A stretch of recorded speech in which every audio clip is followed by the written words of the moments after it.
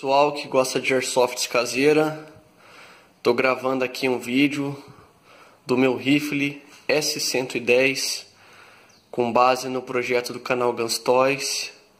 Baixei o projeto e efetuei a construção. Projeto muito bem feito. Não foi fácil construir, mas né, com dedicação e paciência dá para estar tá construindo sim. Vou chegar aqui mais perto mostrar para vocês a coronha da arma. Eu fiz ela toda em plástico PS, né? Que é o plástico que o canal Guns Toys recomenda.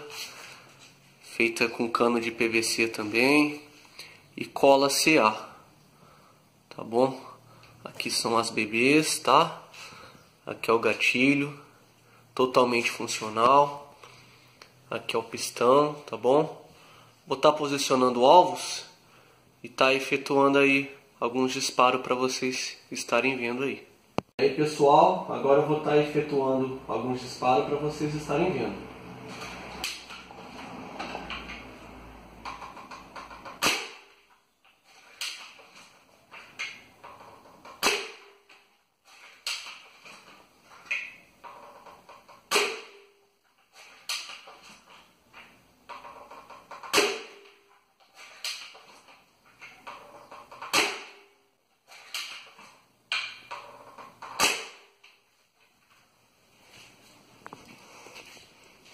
Esse é o alvo depois né, de eu efetuar alguns disparos. Vocês podem ver que atravessou o papel e atravessou a caixa também.